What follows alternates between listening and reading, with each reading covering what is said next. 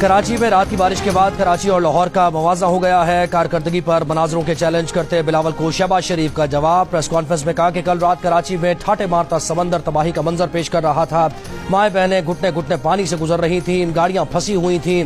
कराची जैसी सूरत हाल लाहौर की होती तो बिलावल को कहता, मेरे हल्के से लड़े, मैं इलेक्शन छोड़ देता।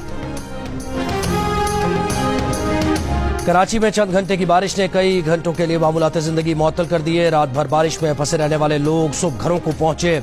कल की हुई बारिश के बाद गायब होने वाला बल्दियाती अमला भी आज कहीं कहीं नज़र आया।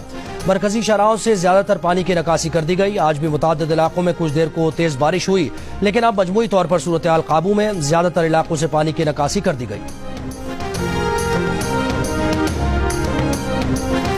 और मेयर कराची मुर्तजा वहाब का मुख्तलिफ़ इलाकों का दौरा। नकासी आप के कामों का जायजा लिया। कहा, शहर की कई सड़कों से बारिश का पानी निकाल दिया गया। निगरान वजी अला सिंध को ब्रीफिंग में बताया कि M Jinnah road, I Chundrigar road, Lyari के कुछ इलाकों में पानी था।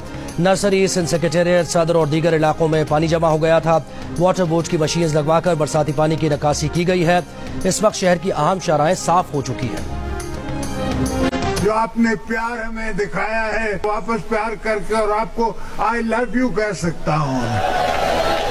I love you too Nawaz के बाद जरदारी का भी अवाम को पैगाम मोहब्बत, तलागंग में जलसायाम से खिताब में कहा कि उन लोगों को हुकूमत चलाने का अंदाज ही गलत है। ये ना आवाम के मसाइल समझते हैं, ना किसानों को उनकी फ़सल का मुनासिब रेट देना चाहते हैं। हम ये सूरत हाल बनाएँगे कि दुबई नहीं अवाम यही कमाएँगे। अपने दौर में तनख्वाहें सौ फ़ीसद बढ़ाई, आज चार गुना तनख्वाहें बढ़ाई जाएँ तो भी महँगाई ज़्यादा है।